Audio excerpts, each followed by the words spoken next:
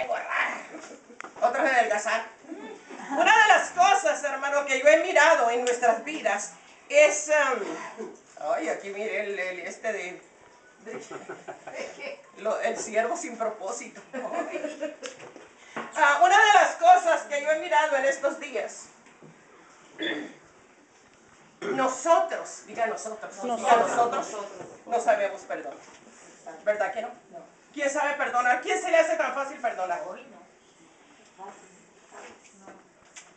Mucha gente no se le hace fácil.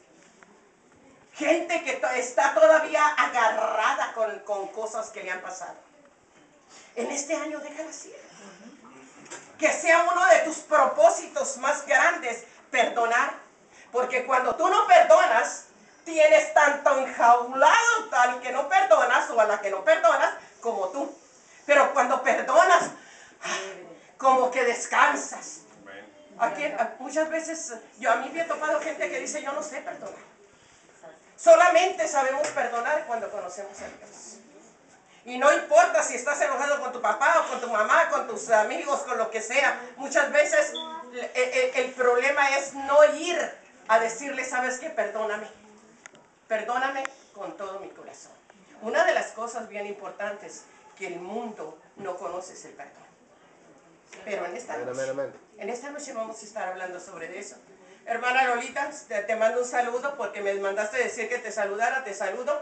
Eh, ¿Sabes qué? Este, es que este video va por todo el mundo. Sí, sí, sí, sí. Entonces, hermana, ah, te mando un saludo y aquí estamos. Estamos, hablando de perdonar. Ojalá que tú puedas, hayas aprendido a perdonar y, y podamos perdonarnos unos a los otros porque, porque somos faltosos. Diga, somos faltosos. Porque si no tuviéramos esto, diga, si no tuviéramos esto. Y esta es. tan poderosa, tan chiquita, pero enciende volcanes, mano. Suéltala, verás y todo lo que enciende, ¿ok? Mitotes, hay gente, aquí no hay gente mitotera, ¿verdad? No vinieron, ¿verdad? Comunicativa. No vinieron acá. No, Se fueron a cenar. Se fueron a cenar. Vamos, vamos, vamos, a entrar. no sé por qué, pero siento algo, algo, algo. Mi tema en esta noche, cuando, la eh, eh, cuando viene la tempestad en nuestra vida, diga nuestra vida. ¿A quién le ha venido la tempestad? ¿A quién le han venido los días malos? Muchas veces no buscamos los días malos, pero solos vienen en nuestra vida. Sino que ha llegado, qué bueno. Pero, pero llegará el día de que tengamos días malos, ¿ok? Abra su Biblia en Lucas 8:22, ¿ok? Y ahí vamos a estar mirando la palabra de Dios en esta noche. Si usted quiere que nosotros vayamos y la visitemos en su casa, no tiene más que abrir su casa y decirnos. Nosotros vamos con todo el gusto. Usted no tiene, no, no tiene que llevar nada, hombre, nomás una disposición para oír la palabra es todo. Es todo lo que necesitamos. ¿Lo tiene? Lucas 8:22. Dice, aconteció un día que entró en una barca con sus discípulos. ¿Con quién entró? Con sus discípulos. Y les dijo, pasemos al otro lado del lago. Y partieron, diga, partieron, se fueron los discípulos en, el- en- en la lancha que iban, en el barco. Una de las cosas, hermano, que muchas veces a nosotros nos sucede.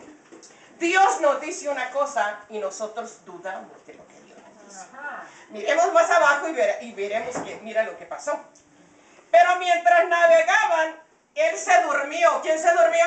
Jesús. Jesús se durmió porque estaba cansado. Muchas veces el, el Señor se duerme y tienes que despertarlo. ¿Sabía usted que en realidad Dios no duerme? Ni de día ni de noche. ¿Sabía que usted que Él vela sobre la tierra? Amén. Le guste al diablo, no le guste, Él ve así como vela en el cielo, vela en la tierra. ¿Cierto? Y también a usted lo mira, o no importa dónde esté, el Dios lo mira a usted lo que está haciendo. ¿Cierto? Uy. ¿Sabía usted que lo está mirando Dios? Amén, amén, amén. Sabía que yo no sé lo que está pensando, pero Dios sí. Estos aleluyas. Vistosos, no nos bañamos ahora. Mañana. Dale gracias a Dios que viene alguien a decirte de lo que es Dios. Porque vendrá el día que no encontrarás una sola palabra cuando más la necesites. El día que el Señor venga y se lleve su iglesia, hasta ahí vamos a llegar. Pero mientras navegaban, él se durmió y se desencadenó una, una ¿qué? Una tempestad de viento, digo una tempestad de viento. ¿Quién de aire? Yo. Allá veo las manos. Yo no. Ok, es una cosa, pero bien fea. Bien fea cuando viene una tempestad y estás en alta mar, ¿ok? Y peor si vienes en un barquito de esos chiquitos que te lo hace así. ¿No te ha pasado que el mismo viento ese agarra tu vida y te la sigue? ¿No te, has, ¿No te has fijado? ¿O no te has dado cuenta? Que cuando comienzan a soplar los aires contrarios, diga contrarios, comienzas a moverte así, mira a tembelequearte para todos lados. Sí. ¿Por qué? Porque los aires comienzan a soplar por donde tú no los estabas esperando. Ok, vamos ahí. Vamos a mirar. ¿Está entendiendo en esta noche? ¿A cuánto les ha soplado los aires diferentes? Muchas veces comenzamos, creemos que el aire va a soplar así, pero no sopla así, sopla de allá para acá, ¿ok? Cuando Jesús calmó, ¿alguien más viene en esta mesa? Flesio. Pásele, pásele, pásele, pásele. Está en su casa. Pásele, pásele. Nosotros llegamos primero, pero le decimos que está en su casa. Dijo Miguel, es la casa de nosotros, pero sin papeles. ¿Ok? Jesús, ¿qué hizo? Calmó la tempestad, ¿verdad? Ok. Cuando Jesús calma la tempestad, entra en la barca y sus discípulos, cuando les dijo vamos, los siguieron. ¿Cuántos siguen a Jesús en esta noche? Y dijo, pasemos al otro lado. Una de las cosas que deberían de haber tenido los discípulos, si Dios les dijo que pasemos al otro lado, tendrían, te- tenían que tener la seguridad de que iban a pasar al otro lado. Muchas veces Dios te dice muchas cosas y dices tú, ay, los discípulos no entienden, pero si tú tampoco no entiendes. Muchas veces Dios te dice cosas, no hagas eso, pero tú terco que lo haces. ¿Eh? Y ya después que estás en el hoyo, ay, ¿y dónde estaba Dios cuando yo me metí al hoyo? Y dice el Señor, ¿y dónde estabas que no oíste que te dije que no lo hicieras? ¿Por qué no le das un aplauso al Señor en noche? Y le dice, Señor, sácame del hoyo en esta noche. Muchas veces nos metemos en tantas deudas que no debemos de meternos. Los que fueron a comprar a Target ahorita le está pesando hasta no sé dónde. Porque les están robando todo, todo, todo su identidad. Los pueden dejar sin nada. Y no crea que nomás en Estados Unidos, en todo el mundo. Y pueden ir a comprar y pueden hacer tantas cosas con tu tarjeta que tu numeración. Muchas veces una de las cosas que yo no hago, no sé tú, comprar por internet. A mí me molesta poner mi, mi, mi- toda mi, mi, mi- mi- mi información ahí para que todos lo miren. No, no, no, eso no es, eso no es lícito. Ok, ¿qué les dijo el Señor? Vamos a ir al otro lado. Pasemos al otro lado del, del lago. Y se fueron y los dis- discípulos obedecieron. Ellos sabían que estando con Jesús nada podía pasarles. Muchas veces cuando estamos con el Señor nada nos pasa. Pero cuando comienzan los aires y comienzan las tormentas de la vida. ¿Cuántos han venido tormentas tan fuertes Por parte del esposo, del esposo, de los hijos. Por todos lados comienzan las tormentas. En este, en este año esperamos que todo esté mejor. Diga conmigo que todo esté mejor. Pero todo depende de que esté mejor cuando tú decides las cosas en tu vida. Porque tú eres el único que puede decidirlas. ¿Qué es lo que dice? Usted puede decirle a Dios, le puede decir que no y le puede decir que sí. Cierto. En esta noche usted puede decir, ¿sabes qué Dios? Yo a ti no te necesito. Yo soy bastante mujer, bastante hombre para hacer lo que necesito. Usted puede decirle lo mismo, pero puede cambiar su, su actitud y le puede decir, ¿sabes qué, Señor? Yo te necesito. Yo te necesito. Usted, usted es el que decide.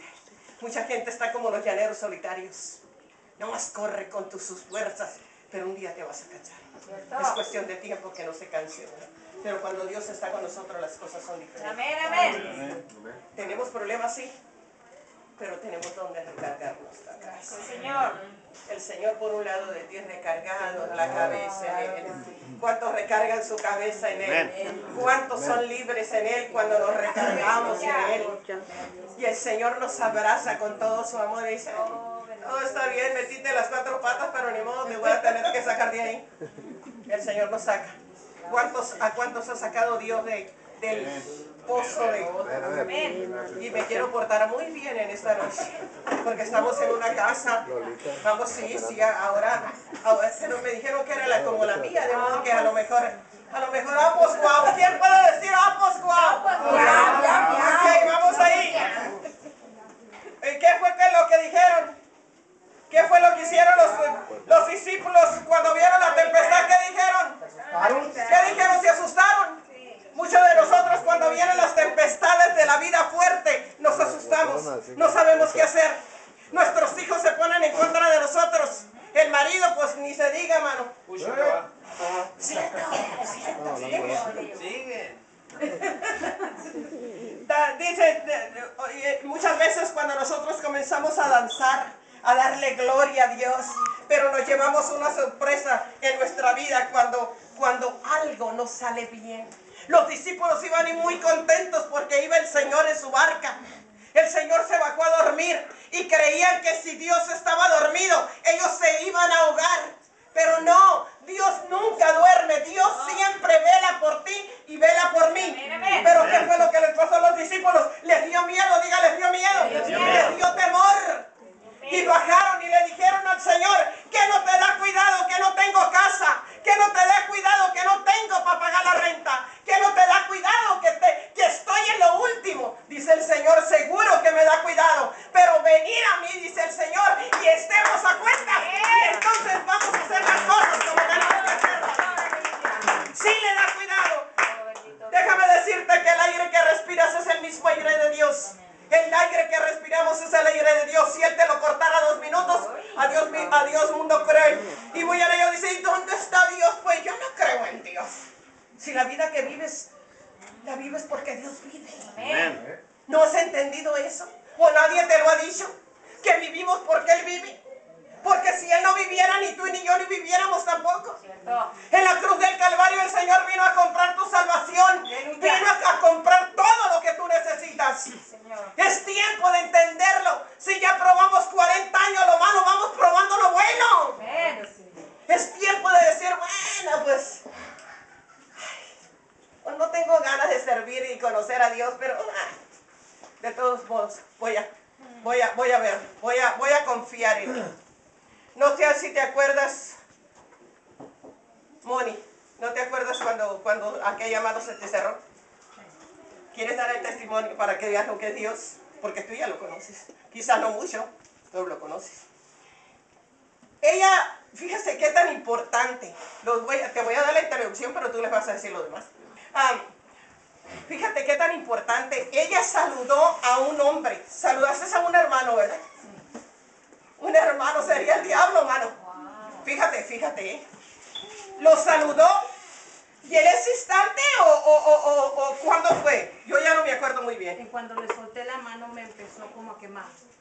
En cuanto le soltó la mano, le dice que le sentó. Y duraste varios días con ella, ¿no?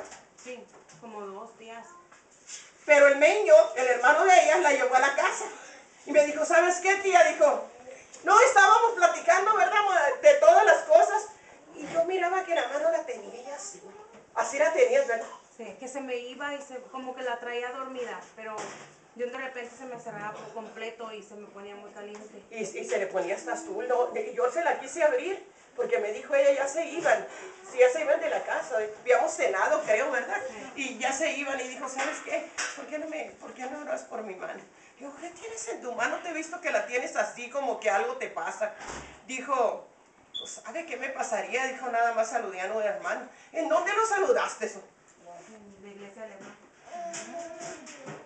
¿Qué crees que se la pudimos abrir? Dije yo, le dije, pues apriétate porque ahí te voy. Este es un demonio. Y comencé a orar por ella y al instante pudo abrir la, mano. Eso es lo que hace Dios. Hay Dios. Y yo no sé si ya nunca te ha dolido tu mano. Nunca te ha dolido, ¿verdad? Pero, pero sí la tenía bien, bien fuerte, bien, bien apretada. So, ¿qué pasa? Muchas veces le das la mano a la gente, no es porque sea repugnoso uno, pero muchas veces le das, mires la cara del hermano y dices, ay, ¿será de Dios o será del diablo, mano? Pues e- ella no supo definir, ella nomás, la- la- el muchacho le, era un, era un señor, ¿verdad? Era el señor, el papá de toda la familia. Pero nunca lo saludaba ni me saludaba él a mí. Ese día me, saludó. Y ese mismo hombre fue antes a riquezas. Cuando fue a riquezas, ah, él, él oraba, pero oraba nomás por las mujeres. Es el hermano que oraba por. Que yo le decía Sí. a Maite, ¿por qué el hermano nomás con las hermanas? Párate, Maite, para decirte